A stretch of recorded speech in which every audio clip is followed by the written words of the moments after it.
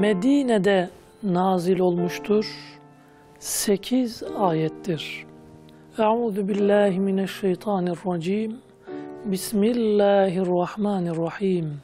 İza zülziletil ardu zilzalaha.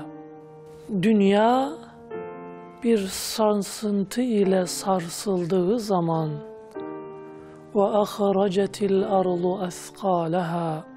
Yer içindeki ağırlıkları dışarı çıkardığı zaman ve kâlel insanu mâ leha o sarsıntıyla insan bu yere ne oluyor dediği zaman يَوْمَئِذٍ تُحَدِّثُ أَخْبَارَهَا بِأَنَّ رَبَّكَ أَوْحَى لَهَا Allah yere vahyetmiştir.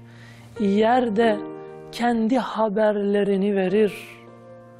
Dünya hayatının bittiğini, ahiret hayatının başladığını haber verir. يَوْمَئِذِ يَصْدُرُ النَّاسُ اَشْتَاتًا لِيُرَوْا أَعْمَالَهُمْ O gün insanlar grup grup mezarlarından çıkıp dünyada yaptıkları ameller kendilerine gösterilir.